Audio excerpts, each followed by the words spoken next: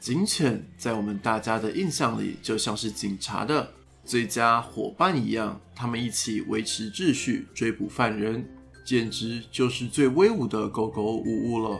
大家好，我是狗哥，欢迎回到狗狗频道。今天我们来看这只小警犬偷懒的有趣故事。一名中国网友日前就在网络上分享了两张小警犬不认真上班的照片，这也意外的引起了讨论。画面中可以看到，当时这只小小的公务员就这样被训犬员偷偷的带到了墙边，握着他的手手，直接将他壁咚到了墙上。根据了解，当时的警察叔叔是这样对他说的：“跟你说了多少次，上班时间不可以撒娇，你也是公务员，知道吗？”